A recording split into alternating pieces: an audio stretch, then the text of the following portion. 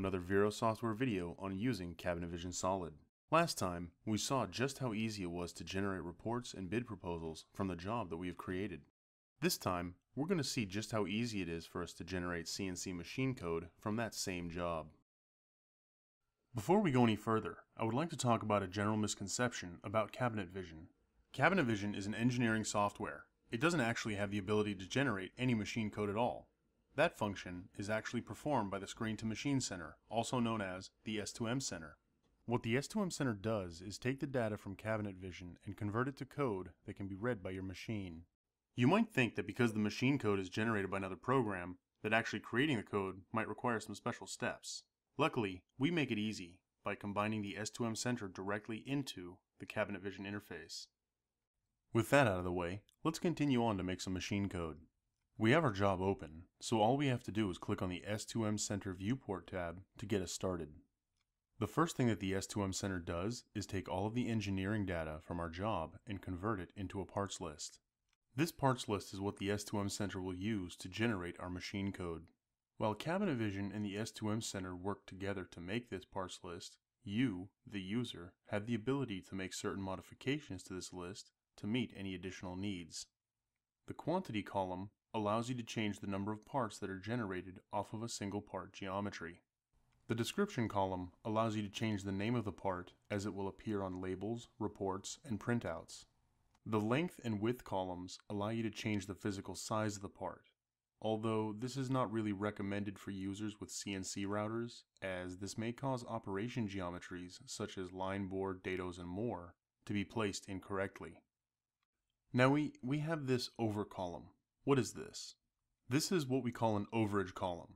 It allows us to specify that should any additional space be left over on a sheet or sheets, the S2M Center's optimizer should add additional parts up to the overage quantity.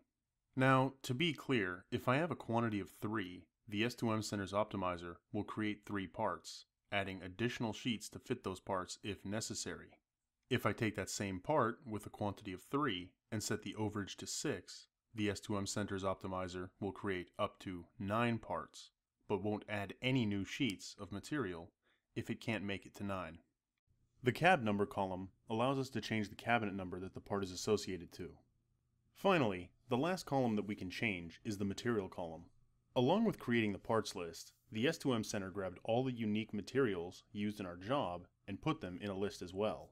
If I switch my view from parts to materials, we can see the materials that we can choose from. Here we can add new materials, change the names of materials, the length and width of the material, the cost of each sheet, as well as the quantity of sheets that we have on hand. Now we talked about the columns that you can edit, but we also have the ability to edit which of those columns are shown to us. We just need to place a check in the columns that we want to see and uncheck any columns that we don't want to see. I'm just going to leave them alone and move on though. Now, you might be asking, how does the S2M Center create machine code for my machine? Well, that information is stored in the machine catalog. This holds all of the information about all the machines that you will use to create parts. Now, each person's machine catalog will be different, and I'm using the machines that come with the S2M Center during installation. Each machine in the catalog will have its very own settings. There are a whole lot of settings for each machine type, as well as manufacturer and NC link type. I've already gotten my settings the way I want them for this output, so let's close out of the machine catalog and take a look at the tool catalog. This is where we would find all of the tools that the S2M Center uses to create the toolpaths for our machine code. As usual, I'm using the tools that were provided when the S2M Center was installed. You can see that there are quite a few of them though. Like the machines in the machine catalog, each tool will have its own set of options that will define how the S2M Center will use it. Another powerful feature of the S2M Center is the parts filter. Here we can filter out parts using a plethora of criteria. Not only can we filter by assembly or material type, part type, and even special parameters, but we can also save any filter that we create so that we can perform the filter again at a later time. On top of all of that, we can choose how the filter actually filters out parts. Do we want it to add filtered parts to the selected list? Or do we want it to filter the items that we already selected? There's even the ability to use the filter to remove the items from the list. So, we've seen a lot of the features that the S2M Center has to offer, but what about the original point of this all? What about my machine code? So, let's skip all the other stuff for now and take a look at actually outputting some machine code now.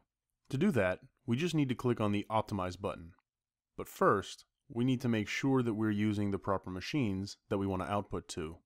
It looks like I'm going to be outputting to my CNC saw. Seesaw. Sorry, um, yeah, so our default saw is the machine that will be used to cut out our parts out of the sheets. And the default P2P is the machine that will be used to cut out any operations like dados, line boring, and more. With the machines verified, I'm going to go ahead and click on the Optimize button. Now, wait, what's this message? Well, it's the S2M Center telling me that some of my parts are just a little too big to fit on the sheet sizes that were loaded. These, uh, these parts over here with the red icons, those are the culprits. Now, what could we do to fix this? Um, I guess I could go back into my material view, where I could change the sheet sizes there, but then the rest of my parts would be optimized on sheets that were too large. Hmm.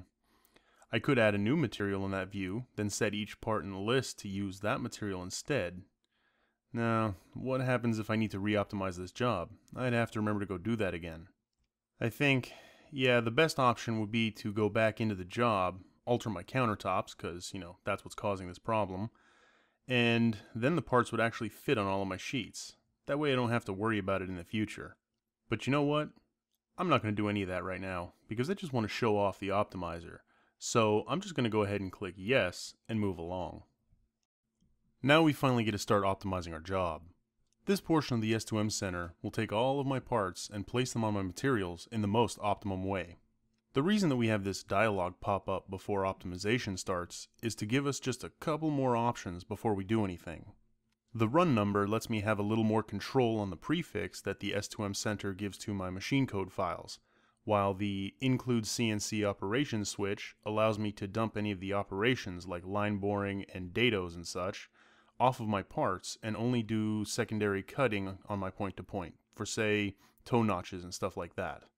I'm just going to go ahead and click run and let the optimizer do its thing. That was pretty quick. The optimizer just took literally hundreds of parts and went through a whole bunch of patterns and solutions to place all of those parts on our materials in the best way, based on our machine settings of course.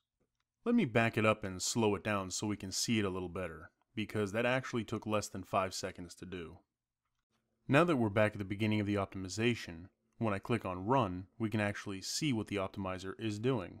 The first thing it does is grab a material and starts trying to put parts on the sheets. Each solution it goes through is another set of patterns that it's tried out. Once it finds that perfect optimization for the parts on that sheet or set of sheets, it moves to the next material. Let's pause for just a second. You can see that it's actually given us a lot of information about what it did, like the number of patterns it made, the total number of sheets that those patterns take up, the percentage of the material that it used, as well as any offcut material left over, and what percentage of waste was left. Now, FYI, that waste is an overall value combined from the total number of sheets used, so that's not 12% of each sheet. And that's pretty much the gist of it, so let's bring it back up to proper speed so we can continue on. We're seeing a lot of warnings here. This is because I'm using out-of-the-box tools, machines, materials, cabinets, etc. And these are exactly what they are warnings.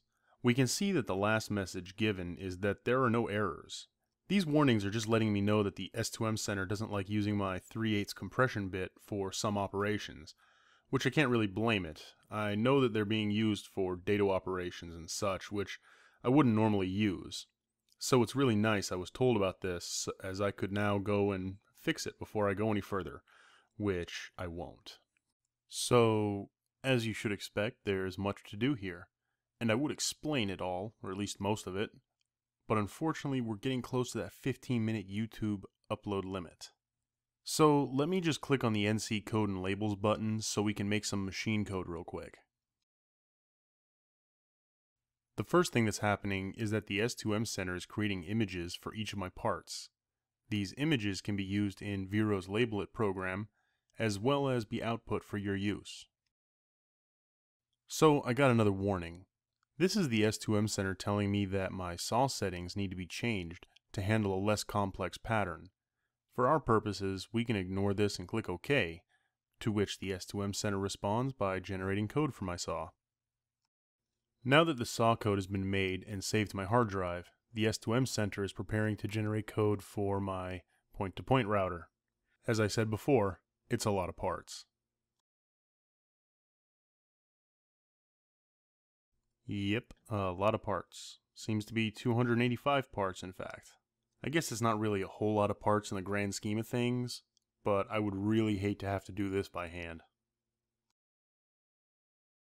So that does it for code generation from the S2M Center from within Cabinet Vision. I think you have a good idea now of how the S2M Center integrates with Cabinet Vision to allow us to create machine code. I hope you enjoyed this series on using Cabinet Vision Solid, and if you want more information about Cabinet Vision, the S2M Center, or any of the other great products that Vero makes, please look us up on the web at www.verosoftware.com forward slash products.